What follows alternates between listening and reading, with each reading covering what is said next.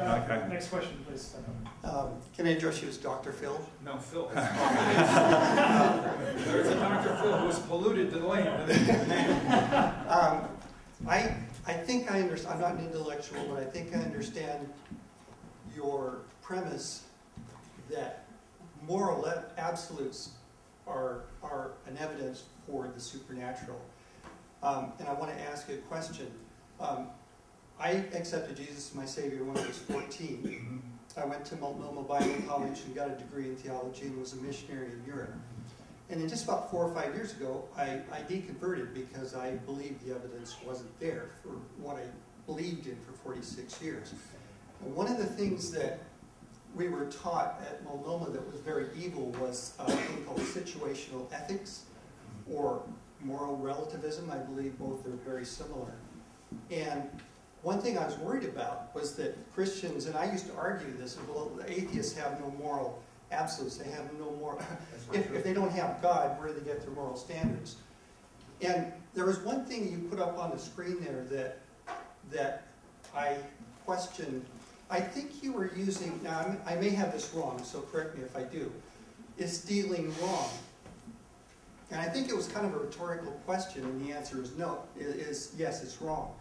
But I mean, if there's somebody here with a gun about to murder somebody, and you steal their gun, mm-hmm. that would make that thing actually probably stealing the right thing to do. And, you mm-hmm. know, you can say the same thing about lying. And Sir, could you please get to your so, question? so the question is, do you agree that we can have, that I can be a moral person without having a God or a sacred scriptures to create that sort of abs- moral absolute for me? That's a really helpful question. Thank you. Um, first of all, uh, on the exception to stealing is wrong, if there is an exception, and I certainly believe there are, uh, to a, a moral rule like stealing is wrong, the exception is caused by some other moral truth. That in this particular case, the general rule of don't steal is overridden by a more important moral truth. In either case, you still have a moral truth. Do I believe that atheists have, have, believe in moral truths? Yes. Um, some of the best, not only do atheists believe in moral truth, many of them um, live out moral truth quite well.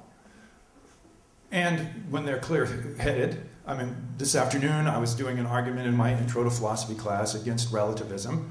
Um, and I said, look, you might be suspicious that I'm against relativism because I'm a Christian. Okay, the argument I'm going to give you is John Kekes's argument in the book called Facing Evil. John Keeks is by no means a Christian, and his argument is completely, I mean, he, he's a really fine argument against relativism and in favor of what he calls um, deep prohibitions. There are things that are deep in our human nature that are moral truths.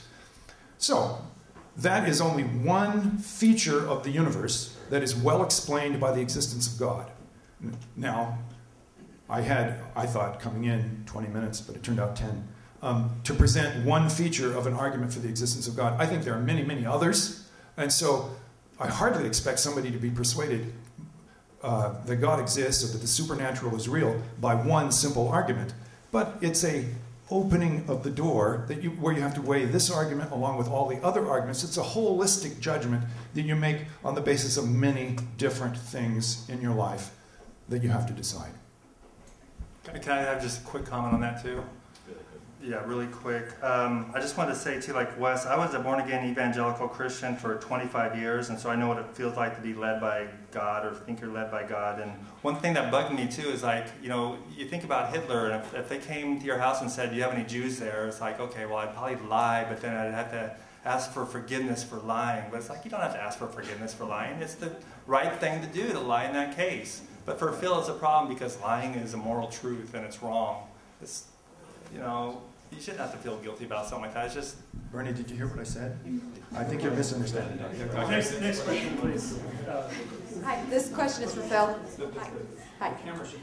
Okay, great. Um, I mostly had a question about uh, the non-natural truths that you were talking about. So when I think of that, I, I tend to think of like Plato's forms and other things like that as more ideas in our minds. And since we are really good at seeking out patterns, I think that's part of the discovery of mathematics, or the are we are we discovering it or are we creating it? Um, but since we are so good at, at noticing patterns and seeing different things, I mean, how is non natural truths any different than ideas in our minds, which are natural because they're part of us? And we're natural. That's a, a real, that's a helpful question. It helps make the, the point that I was making crystal clear. If the things that we make up in our minds are just that, then they are natural truths. I mean, you don't have to believe in non natural truths. So, mathematics is just made up. But that, that comes with this connotation that something made up in your mind is somehow just like not true or it's less than other things. And, and it, it's not. Maybe it's a beautiful part of who we are. Maybe it's, it's, maybe it's why humanity has been so good at being able to do so many wonderful things and so many evil things at the same time. It, it doesn't lessen Okay. the beauty of it. Right. As, I say, the argument for uh, non-natural truths, and in, in the particular ones, the moral truths that I'm, uh, I think we can all observe, are well explained by the existence of God. You are trying to see, and I said even at that time, I'm open, and we ought to be open to possible other explanations. I would observe, this is just a fact, that virtually all mathematicians would say we're discovering truths and not inventing them. Bernie, uh, would you like to comment? Yeah, I would. I mean, uh, this is mind boggling that moral values depend on God because some of the most gross immoral laws ever, moral laws, are in the Bible, like in the Old Testament about killing a, a woman if she's thought to be a, not a virgin on her wedding night. I mean, these things are gross. And, and this comes from a God? God said this? I mean, th- this is, this is insane. Yes.